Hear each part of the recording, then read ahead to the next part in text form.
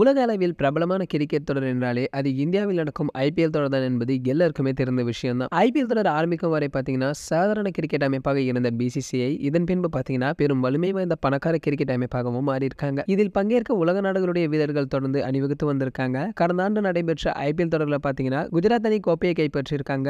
எனினும் ஐபிஎல் தொடரில் வெற்றிகரமான அணிகளாக சென்னை மற்றும் மும்பை அணிகளும் வலம் வந்திருக்காங்க. அதிலும் நம்ம தோனி தலைமையிலான சென்னை அணி இதுவரை இரண்டு முறை மட்டுமே அரையிறுதியிலோ பிளே ஆஃப் சுற்றுக்கோ சற்று முன்னேற தவறியிருக்காங்க அந்த அளவிற்கு பார்த்தீங்கன்னா சென்னை அணி வலிமை வாய்ந்த அணியாக திகழ்ந்து கொண்டிருக்காங்க. இந்த ஆண்டுக்கான ஐபிஎல் தொடரில் மார்ச் முப்பத்தொன்றாம் தேதி தொடங்கி நடைபெற்று வரும் நிலையில ஐபிஎல் மினி ஏலத்தில் சென்னை அணி பென் ஸ்டோக்ஸை பதினாறு புள்ளி இருபத்தி ஐந்து கோடிக்கும் ஏலத்தில் எடுத்திருக்காங்க. அதனால சென்னை அணிக்காக பென் ஸ்டோக்ஸ் முதல் இரண்டு ஆட்டங்களில் மட்டுமே களமிறங்கியிருக்காரு. அதன் பின்பு பாத்தீங்கன்னா நடந்த நான்கு ஆட்டங்களை காயம் காரணமாக அவர் தவற மேலும் வருகின்ற ஜூன் ஒன்றாம் தேதி இங்கிலாந்தின் லார்ட்ஸ் மைதானத்தில் அயர்லாந்து அணிக்கு எதிரான டெஸ்ட் போட்டி தொடங்க இருக்கு. அதுல கலந்து கொள்வதற்காக பென் ஸ்டோக்ஸ் இங்கிலாந்திற்கு விரைவில் செல்ல உள்ளதாக அறிவிக்கப்பட்டு பென் ஸ்டோக்ஸ் இங்கிலாந்துக்கும் சென்று இருக்காரு முழு தொடரில் பார்த்தீங்கன்னா பென் ஸ்டோக்ஸ் ஆடாத நிலையில் அவருக்கு வழங்கப்பட உள்ள சம்பளத்தை குறைக்க சென்னை சூப்பர் கிங்ஸ் அணி நிர்வாகம் முடிவு செய்துள்ளதாக ஒரு தகவல்களும் வெளியாகி இருக்கு அதாவது பதினாறு புள்ளி இருபத்தைந்து கோடி ரூபாய்க்கு பென் ஸ்டோக்ஸ் வாங்கப்பட்டிருக்க நிலையில் அதில் இருபது சதவீதம் குறைக்கப்பட்டிருக்காங்க. இதனால் அவரது மொத்த சம்பளத்தில் இரண்டு புள்ளி எழுபத்தெட்டு கோடி ரூபாவை அவர் இழப்பார் எனவும் பேசப்பட்டிருக்காங்க. சரி ஓகே. இது போன்ற கிரிக்கெட் பற்றி வெளியாகும் அனைத்து செய்திகளை நீங்கள் உடனே தெரிஞ்சுக்க.